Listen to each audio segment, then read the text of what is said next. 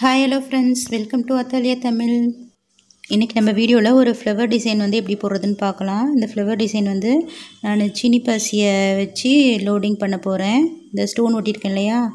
அந்த ஸ்டோனுக்கு மேலே லோடிங் பண்ண போகிறேன் அதுக்கு முன்னாடி இப்போ தான் என் சேனலில் ஃபஸ்ட் டைம் பார்க்குறீங்க அப்படின்னா மறக்காமல் சப்ஸ்கிரைப் பண்ணிவிட்டு வாங்க வீடியோக்குள்ளே போகலாம். ஃபஸ்ட்டு ஆரம்பிக்கும் போது இந்த மாதிரி பேக் செயின் போட்டு ஆரம்பிங்க. பாருங்கள் இப்போ நான் வந்து சென்டரில் இருந்து இந்த பீடை வந்து லோட் பண்ணிட்டு வர போகிறேன் நீங்கள் ஓரத்துலேருந்து லோட் பண்ணிங்க அப்படின்னா சரிஞ்சிக்கிட்டே வர மாதிரி இருக்கும். அதனால் இந்த மாதிரி நேராக லோட் பண்ணும் போது இந்த மாதிரி பாருங்கள் நடுவில் ஃபஸ்ட்டு நான் லோட் பண்ணுறேன் இந்த மாதிரி ரவுண்ட் ஷேப் பீட்லாம் வந்து இந்த மெத்தடில் தான் லோட் பண்ணணும். நீங்கள் வந்து ஸ்லாண்டிங்காக லோட் பண்ணிங்க அப்படின்னா சரிஞ்சிக்கிட்டே வர மாதிரி இருக்கும். கொஞ்சம் பெரிய திலகம் ஷேப் இந்த மாதிரி ஸ்டோன்லாம் வந்து நீங்கள் ஸ்லாண்டிங்காக லோட் பண்ணால் நல்லாயிருக்கும் ஃபஸ்ட்டு பாருங்கள் நான் ஒரு லைன் வந்து போட்டுட்டேன். அடுத்தது பாருங்கள் இப்போ அடுத்த லைன் நம்ம பீட் லோட் பண்ணும்போது பாருங்கள் நம்மளுக்கு எத்தனை பீட் தேவையோ அத்தனை பீட் கரெக்டாக வைக்கணும். ஃபஸ்ட்டு நம்ம நடுவில் போட்டோம் இல்லையா சென்டரில் அதோட அடுத்த லைன் போடுறது வந்து கொஞ்சம் கம்மியாக பீட் வைக்கணும்.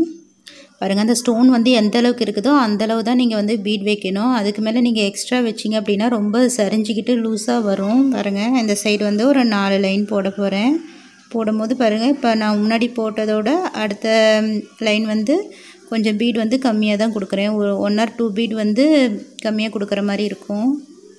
பாருங்கள் இப்போ நான் இந்த லைன் போடும் போது எனக்கு வந்து கொஞ்சம் தூக்கிட்டு இருக்க மாதிரி இருக்குது லூஸாக இருக்கிற மாதிரி இருந்தது. அதனால் ஒரு பீடு எடுத்துட்டு அதுக்கப்புறம் வந்து நான் ஸ்டிச் போடுறேன். இப்படி போடும் போது பாருங்கள் அந்த பீட் வந்து கரெக்டாக நம்மளுக்கு அந்த கீழே சரியாக வந்து கரெக்டாக இருக்கும். நீங்கள் ரொம்ப லூஸாக போட்டிங்க அப்படின்னா சரிஞ்சு சரிஞ்சு வந்துடும் பாருங்கள் இப்போ ஃபஸ்ட் ஆஃப் வந்து நான் போட்டுட்டேன். அப்படியே நெட் போடாது நீங்கள் வந்து அடியிலேயே செயின் போட்டுட்டு அப்படியே நான் இந்த பக்கம் வந்து கன்டினியூ பண்ணுறேன் இந்த மாதிரியும் பண்ணலாம். நீங்கள் எண்ணாட் போட்டுட்டு அதுக்கப்புறம் வந்து இந்த ஆஃப்லேருந்து கன்டினியூ பண்ணுறதா இருந்தாலும் பண்ணலாம். பாருங்கள் இந்த சைடு வந்து ஃபோர் லைன் போட்டிருக்கேன் இல்லையா? அதே மாதிரி இந்த சைடும் வந்து நான் ஃபோர் லைன் வந்து லோட் பண்ண போகிறேன் பாருங்கள் லோட் பண்ணியாச்சு. நம்மளுக்கு அந்த ரவுண்ட் ஷேப் வந்து கரெக்டாக வரணும்.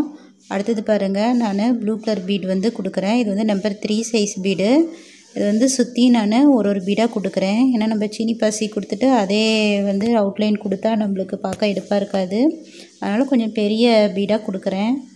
பாருங்கள் நான் ரவுண்டாக கொடுத்துட்டேன். நீங்கள் எப்பயும் ஸ்டோன் ஒட்டும் போது நீங்கள் பீட் ஒர்க் என்ன பண்ண போகிறீங்களோ அதுக்கு தகுந்த மாதிரி அந்த கேப் வந்து தள்ளி ஒட்டிக்கணும். அந்த மாதிரி ஒட்டும் போது தான் உங்களுக்கு அந்த கரெக்டாக நீங்கள் போடும் போது உங்களுக்கு அவுட்லைன் கொடுக்கும்போது கரெக்டாக வரும். இப்போ வந்து சுற்றி அவுட்லைன் போட்டாச்சு. அடுத்தது வந்து நம்ம இந்த திலகம் ஷேப் ஸ்டோனுக்கு பீட் லோடிங் பண்ணுவோம். இந்த திலகம் ஷேப் ஸ்டோனுக்கு வந்து நம்ம ஸ்லாண்டிங்காக பீட் லோடிங் பண்ணுவோம். ஏன்னா நேராக பண்ணால் ரொம்ப சரிஞ்சிட்டு இருக்க மாதிரி இருக்கும். அதனால் ஸ்லாண்டிங்காக இந்த மாதிரி பெரிய ஸ்டோனுக்குலாம் வந்து ஸ்லாண்டிங்காக பண்ணால் நல்லாயிருக்கும் ரவுண்ட் ஷேப் ஸ்டோனுக்கு நம்ம இந்த மாதிரி பண்ணணும். நேராக பண்ணணும். பாருங்கள் first four or five bead வந்து நான் கொடுக்குறேன். பாருங்கள் அடுத்த லைன் கொடுக்கும்போது நம்ம அந்த பீட் வந்து எந்த அளவுக்கு வந்து இருக்கோ அந்த அளவுக்கு கொடுக்கணும்.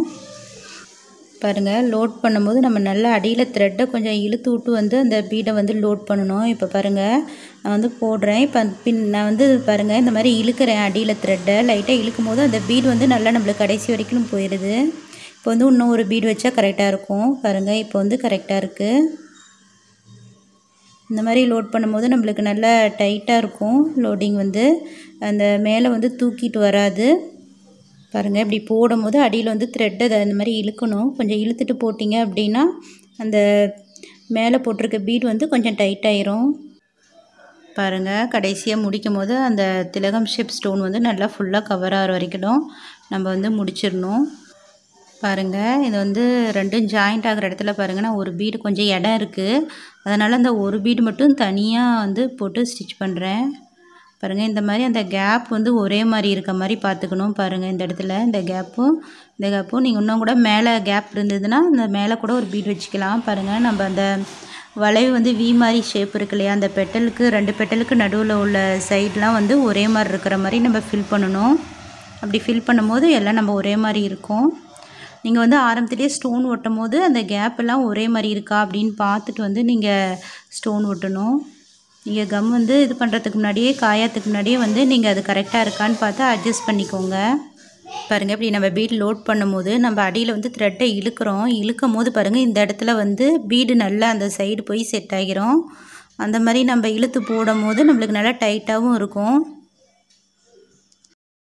அடுத்தது பாருங்கள் இந்த லைன் நான் லோட் பண்ணும்போது பாருங்கள் இது வந்து கரெக்டாக லோட் பண்ணிட்டேன். ஆனால் வந்து இப்போ லூஸாக இருக்குது பாருங்கள் நம்ம திரும்ப வந்து ஸ்டிச் மேலே போடும் போது அந்த மாதிரி லூஸாக இருக்கக்கூடாது பாருங்கள் இப்போ ஒரு பீடி எடுத்துகிட்டு அதுக்கப்புறம் நான் வந்து ஸ்டிச் பண்ணுறேன் இப்படி ஸ்டிச் பண்ணும்போது நம்மளுக்கு இப்போ பாருங்கள் கரெக்டாக இருக்குது நம்மளுக்கு அந்த லூஸ் வந்து வரல பாருங்கள் அந்த மாதிரி ஸ்டிச் பண்ணும்போது நம்மளுக்கு பார்க்குறதுக்கு நீட்டாக இருக்கும்.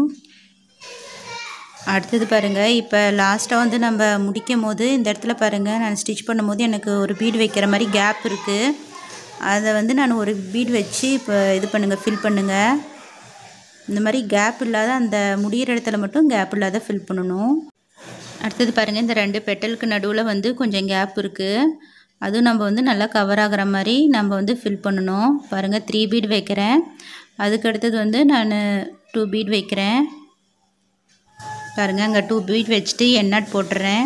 எண்ணாட் போட்ட பிற்பாடும் எனக்கு வந்து இந்த பக்கத்தில் த்ரீ பெட்டல்ஸ் போட்டிருக்கேன் இல்லையா? அந்த கேப்போட இந்த சைடு கேப் வந்து கொஞ்சம் இருக்க மாதிரி இருக்குது அதனால் அந்த சைடு கூட நான் இன்னும் ஒரு பீட் வச்சு ஸ்டிச் பண்ணுறேன் பாருங்கள் இந்த கேப்பில் வந்து இன்னும் ஒரு பீட் மட்டும் தனியாக சிங்கிள் பீட் வச்சு நீங்கள் ஸ்டிச் பண்ணலாம்.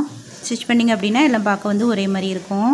பாருங்கள் இப்போ வந்து ஒரு ஒரு பெட்டலுக்கு நடுவில் உள்ள கேப் வந்து பார்க்க ஒரே மாதிரி இருக்குது இந்த மாதிரி வந்து நீங்கள் பீட் ஃபில் பண்ணும்போது ஃபில் பண்ணணும். நீங்கள் பீடு ஃபில் பண்ணும்போது அந்த தனியாக பீடு ஒன்றா வந்து ஃபில் பண்ணுறீங்க இல்லையா அது வந்து தனியாக தெரியக்கூடாது.